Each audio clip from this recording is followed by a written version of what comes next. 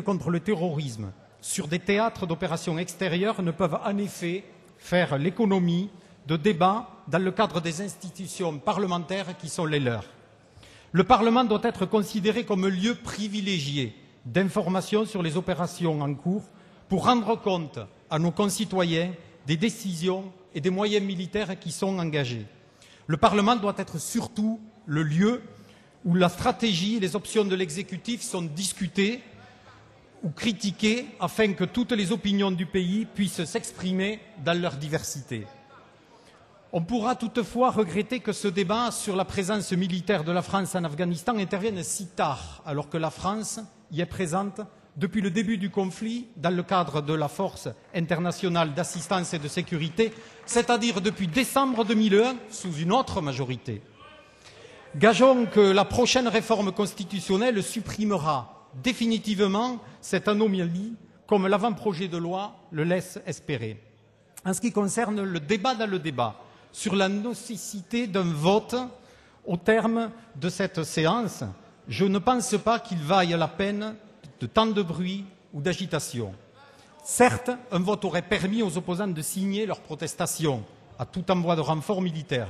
Mes chers collègues, admettons ensemble que cette décision d'envoi de troupes supplémentaires est d'une certaine manière au moins autant tactique que politique, car, comme je l'ai dit plus haut, la France est déjà présente depuis plus de sept ans en Afghanistan. À ce titre, cette décision relève donc davantage de prérogatives régaliennes de l'exécutif, du chef de l'État en tant que chef des armées et de son ministre de la Défense. Pour ce qui a trait aux modalités pratiques et au caractère opérationnel de cette politique, euh, nous pensons que euh, le politique doit composer avec le SEMA, le chef d'état-major des armées, et le chef d'état-major de l'armée de terre, car il en va de la responsabilité de chacun donc des chances de réussite des opérations. Pour l'autre débat, concernant le devenir de l'OTAN, mettons plutôt l'accent sur notre rôle à venir, puisque nous nous apprêterions, nous dit-on, à rejoindre son commandement intégré, question qui, selon nous, devra être discutée par l'Assemblée et tranchée par un vote. Dans ce domaine, qui constituerait une rupture réelle et profonde avec la doctrine gaulienne de la France depuis 1966, nous devrions donc, plus que dans tout autre domaine, débattre et voter, chacun en son âme et conscience, comme nous devrions le faire sur le concept de défense européenne auquel nous, centristes, sommes très attachés. À la question faut-il accroître la présence militaire internationale, dont celle de la France en Afghanistan? Le groupe Nouveau Centre répond clairement oui. Ce qui se passe actuellement en Afghanistan est décisif à bien des égards. Nous sommes à un moment charnière et nous ne nous y trompons pas. Contrairement à l'Irak, s'il y avait échec dans la lutte contre le terrorisme et dans la mise en place d'un État de droit en Afghanistan, ce ne serait pas celui des Américains, mais celui de la communauté internationale, dont aussi celui de la France. Tous les experts en géopolitique internationale s'accordent sur ce point. Le terrorisme international a son terreau dans les zones tribales, notamment de part et d'autre de la frontière entre l'Afghanistan et le Pakistan. La guérilla talibane s'est intensifiée en 2007, marquant clairement sa volonté d'une nouvelle reconquête du pays. Certaines zones du sud afghan sont retombées aux mains des talibans. Pourtant, dans le même temps, la, reconstruction du pays est en marche, même si tout n'est pas parfait, loin s'en faut. L'État afghan se structure, le Parlement légifère. Malgré les risques d'attentats, les organisations villageoises se mettent en place. Quelques résultats à titre d'exemple. En matière d'éducation, 6,4 millions d'enfants scolarisés contre 900 000 il y a cinq ans. En matière de santé, 80% de la population a aujourd'hui accès aux soins contre 8% à l'époque du régime des talibans. En matière d'infrastructures, 4000 km de routes ont été construites alors qu'il n'en existait que 50 en 2001. Depuis 2001, la France a pris sa part dans cette évolution plutôt positive.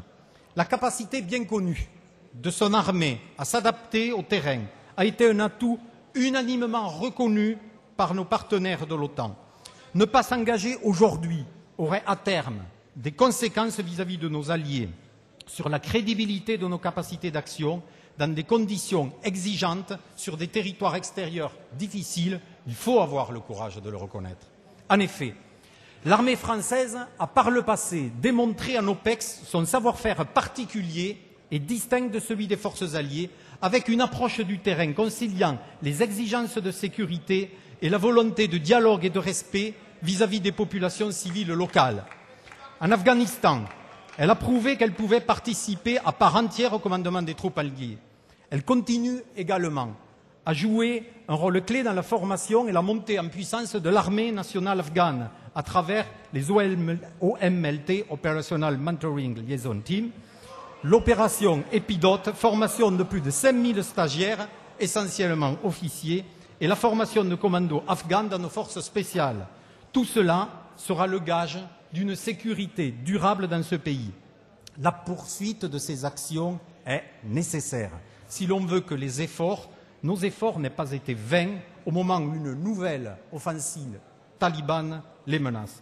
Pour cela, nous approuvons la décision du président de la République de contribuer au renforcement des forces alliées contre un ennemi qui nous est commun et représente une menace réelle, quels que soient nos engagements belligérants sur le terrain.